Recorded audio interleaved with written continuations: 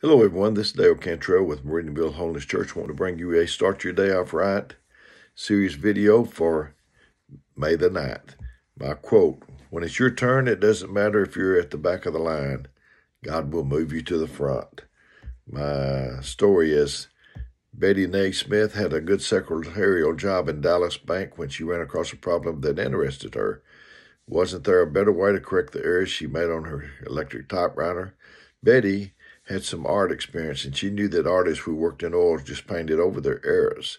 Maybe that would work for her too, so she concocted a fluid to paint over her typing errors. Before long, all the secretaries in her building were using what she then called mistake out.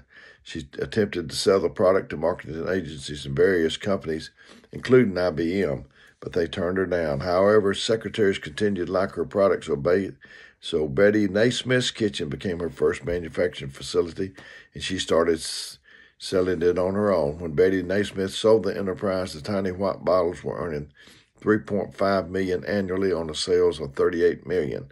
The buyer was Gillette Company, and the price was 47.5 million.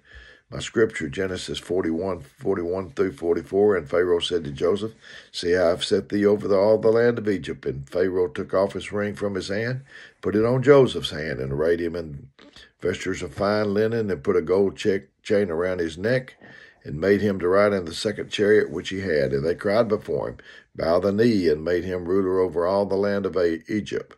And Pharaoh said to Joseph, I am Pharaoh, and without thee shall no man lift up his hand or foot in all the land of Egypt.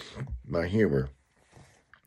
A young boy runs into the house and excitedly shows off shows his mother a fifty dollar bill he found in the park. Are you sure it was lost? The mother asks. I'm positive. The little boy replies, I even saw the guy looking for it. So this is Dale Cantrell with Meridianville Holiness Church saying I didn't come to replace your minister or you getting to go to church, only to supplement if I can.